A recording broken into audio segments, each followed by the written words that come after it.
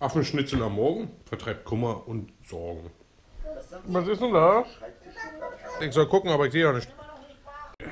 Ja, das ist ja ein Leben jetzt hier als äh, Cutter für meine Familie sozusagen. Gestern habe ich für Anouk ein Video geschnitten. Heute mache ich für meine Frau eins fertig. Der Mann aus der Abstellkammer schneidet Videos. Ich bin in der Abstellkammer, muss hier arbeiten. Toll, ganz toll, ganz, ganz toll. So, was haben wir denn jetzt?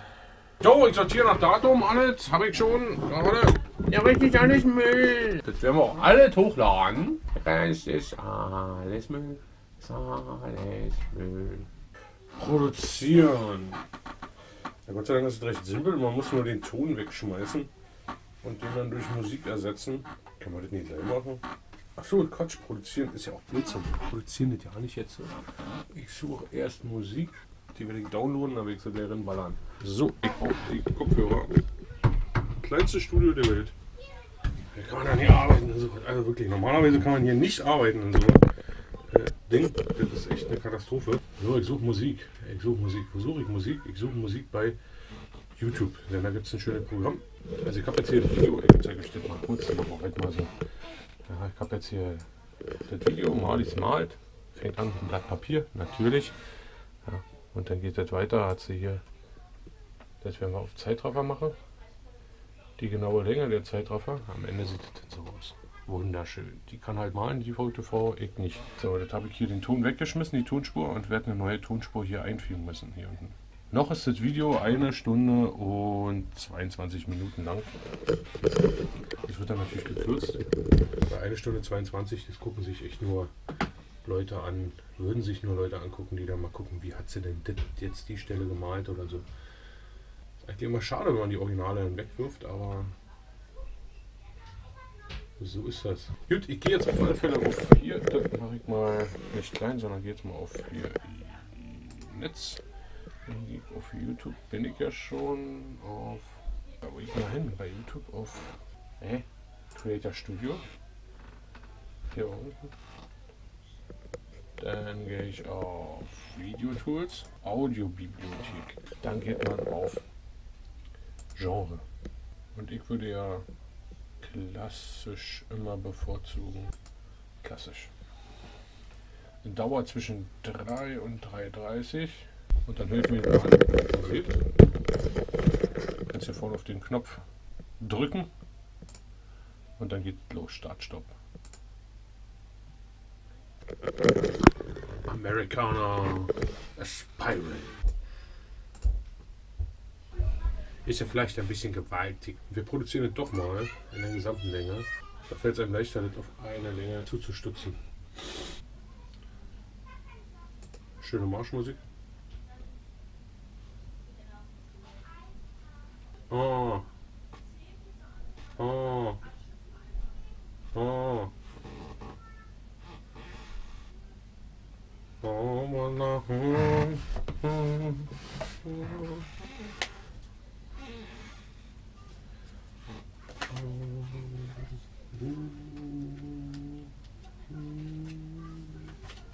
Jetzt bitte keine Fehler drin machen ins Lied.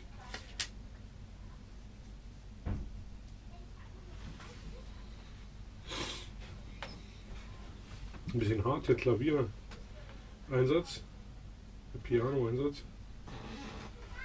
Bis jetzt geht's.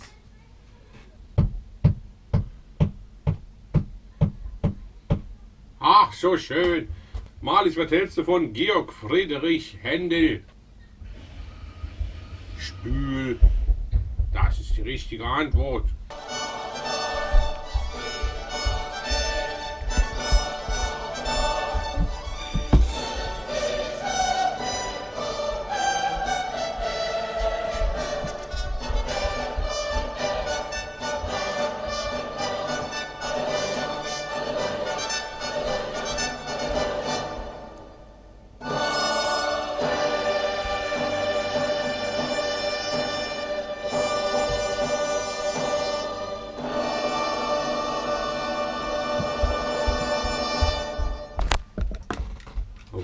Runterfall! Georg Friedrich Händel. Passt das dazu? Halleluja.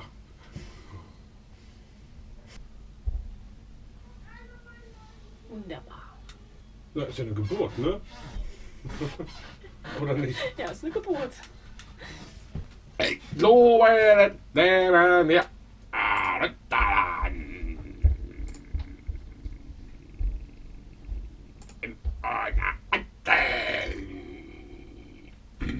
Die Wir runtergeladen auf alle Fälle. Die ist da, die hat man dann auf dem PC. Jetzt steht ja immer hier mit bei, zum Beispiel bei diesem Song. Ja.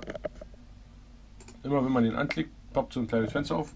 Zack. Und da steht, du kannst diesen Song in jedem deiner Videos verwenden. Ja, hier auch. Weil ich auch angeklickt habe, hier oben keine Quellenangabe erforderlich. Du kannst auch Quellenangabe erforderlich machen. Dann hast du natürlich wesentlich mehr Auswahl, aber du musst halt viel reinschreiben. Sowas hier. Du musst alles mit rein kopieren und das ist dann, ach ich weiß nicht. Ich, keine Quellenangabe erforderlich, alles schön. Dann nehmen wir den Georg Friedrich Händel. Ist ja auch eine fantastische Musik eigentlich. So Klassik den jungen Leuten näher zu bringen, das macht doch Spaß. Ja, da kommt schon ein junger Leut. Na, junger Leut. Ja, was ist denn da fein? Ach Mensch, ein Becher buntes.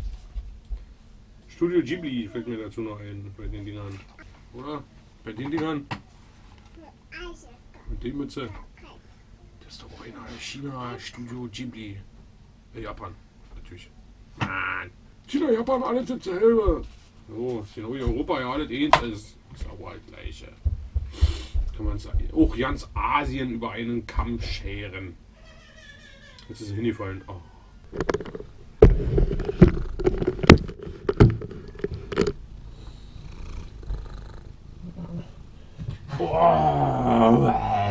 Na? Sitzt denn da im Grase? Wackelschwänzchen, Schnuppernase. Ich importiere jetzt die Händel, die Musikdateien. Vom Desktop. So, Power Director Musikbearbeitung. Ich habe die Datei jetzt hier oben. Ich habe die Datei jetzt geladen. Hier ist sie, die Musikdatei. Die ziehe ich jetzt gleich nach unten. Ich gucke erstmal, wie lang die ist. Ja, was haben wir? 34801, also 348. Jetzt klicke ich auf dieses, auf meine Videodatei, bearbeitete, auf Werkzeuge, auf Power Tools, auf Videogeschwindigkeit, Geschwindigkeitsanpassung und gebe hier ein 03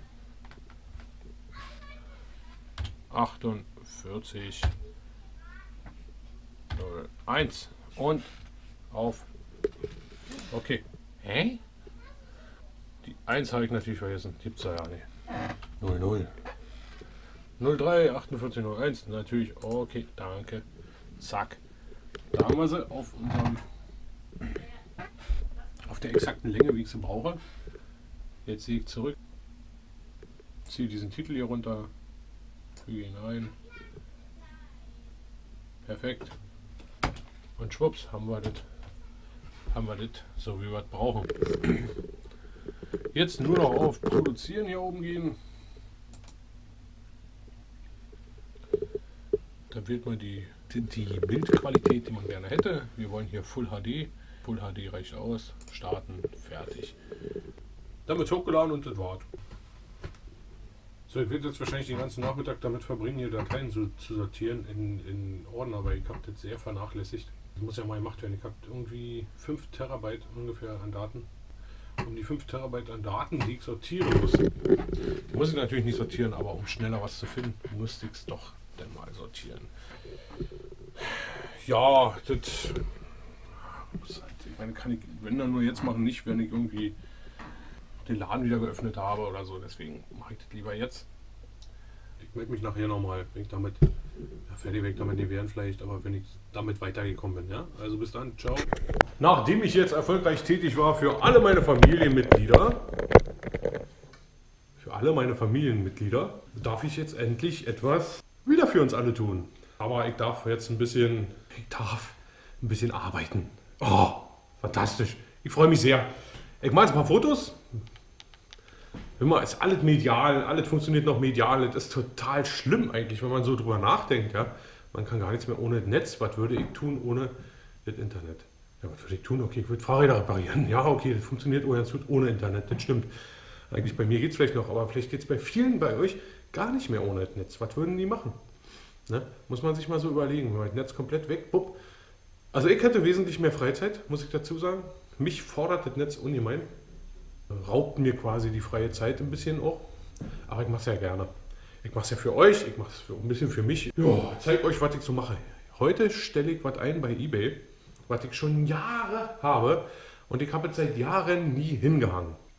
Und zwar sind das Propagandaplakate. So nannte man ja so ziemlich alles, was äh, aus der Zeit zwischen 33 und 45 ist. Es ist auch aus der Zeit zwischen 33 und 45, ist aber von der amtlichen Brasil-Propaganda rausgegeben worden. Und zwar handelt es sich um eine äh, Karte von dieser Größe. Ich zeige es euch gleich. Also es ist eine wirklich sehr schöne Propaganda, ist ja auch nichts anderes als Werbung, das Wort, wenn man es übersetzt. Etwas propagieren, etwas kundzutun, etwas zu bewerben. Ja. Propaganda muss nicht zwangsläufig immer negativ sein. Also ich zeige es euch mal kurz. Diese Sachen sind natürlich auch immer extrem selten. Schaut mal, wie schön sieht das denn aus. Economic Card Brasil. Ja, nicht als Reiseland, sondern als Exportland. Also das ist eine Karte, in der äh, beworben wird, wie gut es doch ist, in Brasilien vielleicht zu investieren, sein Unternehmen ansässig zu machen, was auch immer, was man, welche Werbebotschaft man daraus entnehmen soll. Da steht es abendliche Brasil-Propaganda. Ja. Von 1936 ist die Karte.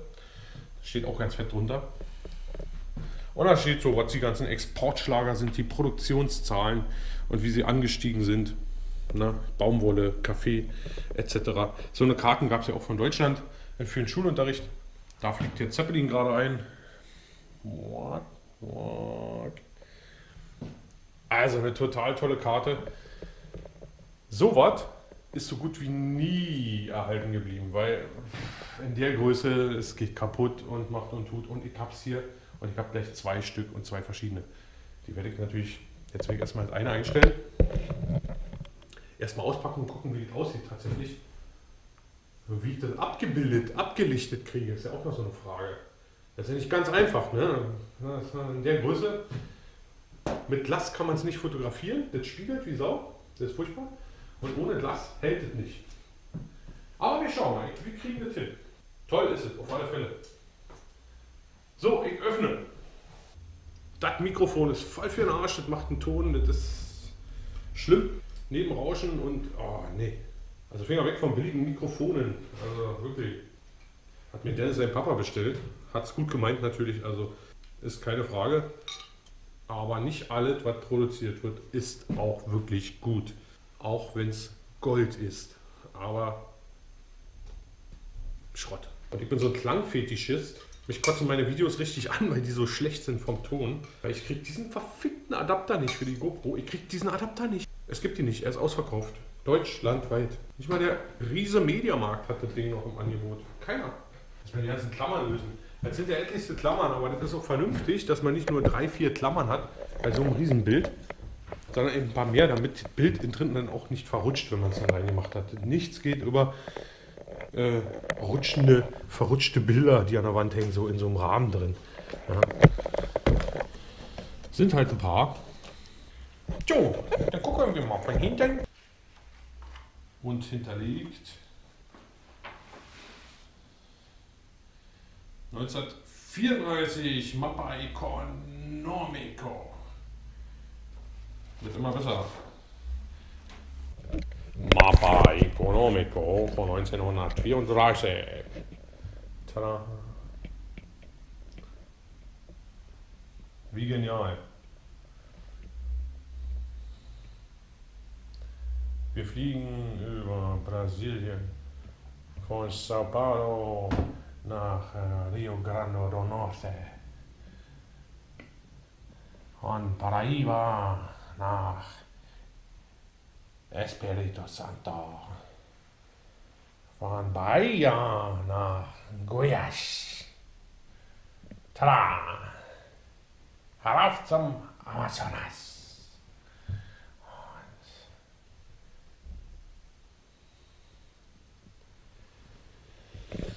Und da war eine Originalkarte aus der Zeit. Oh Mann, ich weiß nicht, was ich da nehmen soll. Ehrlich gesagt, das wird wieder so ein Fantasiepreis auf meinem äh, YouTube, äh, YouTube sag ich schon, auf meinem Ebay-Account sein.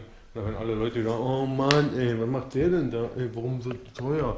Naja, andererseits, habt ihr so eine Karte schon mal irgendwo gesehen? Also deswegen, das Papier, es ist sehr brüchiges Papier, sehr holzig. Also wenn man jetzt knicken würde, noch zwei, drei Mal, dann bricht es tatsächlich durch.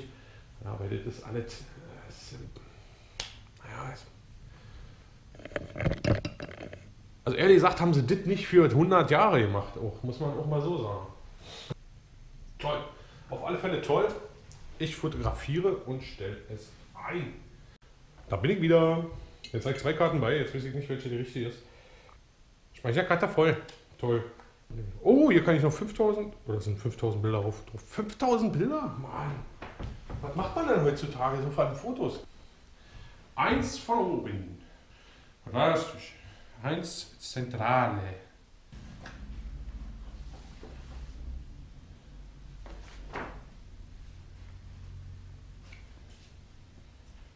Hm. Haha, das Schönste von allen ist doch dein Plakat hier. Eins. Meine, kann doch nicht sein. Jetzt habe ich hier keinen Zollstock oder was. Ey, gibt's doch ja nicht. Ich bin gleich wieder da. Da ist er wieder. Jetzt mit Zollstock. 65 cm mal 65 mal 95. Und gut ist, jetzt hauen wir ab. Jetzt stelle ich es ein. Und wieder am Computer. So sieht meine Winterbeschäftigung aus. Economico. Yard. Prinzil. Bratzel.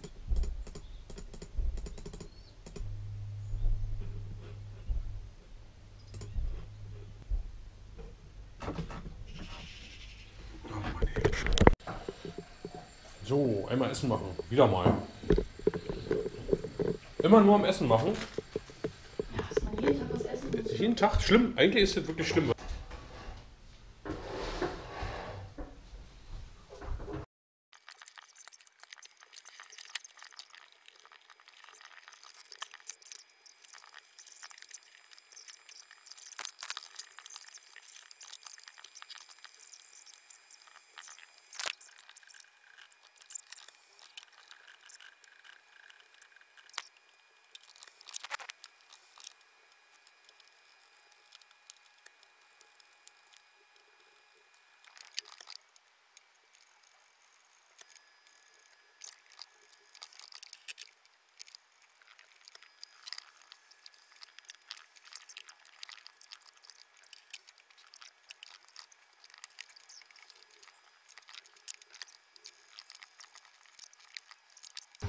So. Hilfe. Kartoffeln, Kartoffeln. So ein Berg Voller Kartoffeln hier. voller Kartoffelschalen. Das kann Man langsam. Oma, Oma kommt. Oma kommt. aber ich helfe dir trotzdem noch weiter. Hallo, Oma ist. Ein Berg Kartoffeln. Mm.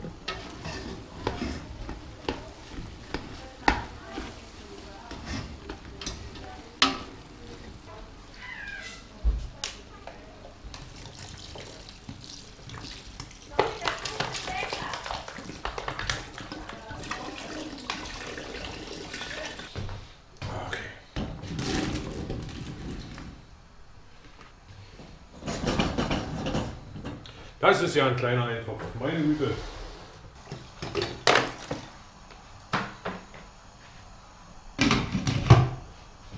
Und das war's. Anderthalb Stunden kochen, fertig. Fertig. Was die machen? Suppe. Suppe für Hasser. Was für der für den Stuhl? Für den 45. Äh, so wenig? Ja. Den habe ich nochmal gefragt ist er, und äh, ob der klingt vielleicht komisch, aber knarzt der irgendwie, wenn man sie aufsetzt. Also, weil es ist mir unheimlich wichtig, Dass ich nicht da sitze und weil ich will ja nebenbei auch Aufnahmen machen. Gleich, wisst ihr. Annik hatte ganz schön mit Heimweh schon zu tun, ne? Bevor sie überhaupt losgefahren ist. Fünf Tage sind ganz schön lang. Boah, lecker! Ich äh, werde aber jetzt mal alle zusammenschneiden von heute und dann Feierabend machen für heute. Und vielleicht gucken wir noch einen Film. Oder? Ja, irgendwas. Aber bitte keine Hartz-IV-Reportage mehr, weil kann ich nicht mehr ertragen, ey. Meine Frau ist nämlich süchtig nach Hartz-IV-Reportagen. Vielleicht will sie sich informieren, wie ihre berufliche Zukunft aussieht. Also bis morgen, morgen ist Montag, wir sehen uns bis dann. Ciao, alles Gute, schlaft schön, abonniert den Kanal, sagt euren Freunden weiter und äh, ja. Frieden für die Welt oder so. Ach, keine Ahnung. Bis dann, ciao.